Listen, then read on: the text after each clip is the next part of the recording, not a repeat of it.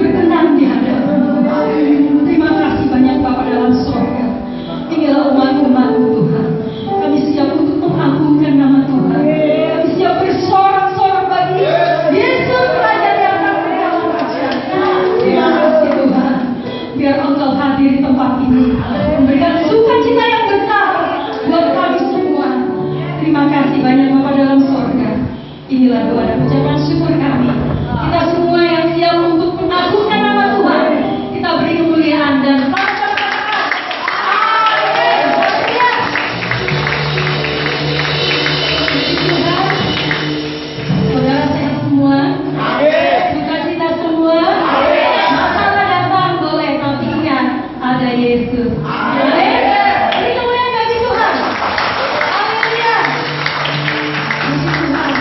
Tuhan. Sebelum kita mengagungkan bersorak-sorak bagi nama Tuhan, saya dulu kita semua untuk membacakan visi dan misi gereja. Hitungan ketiga kita mulai.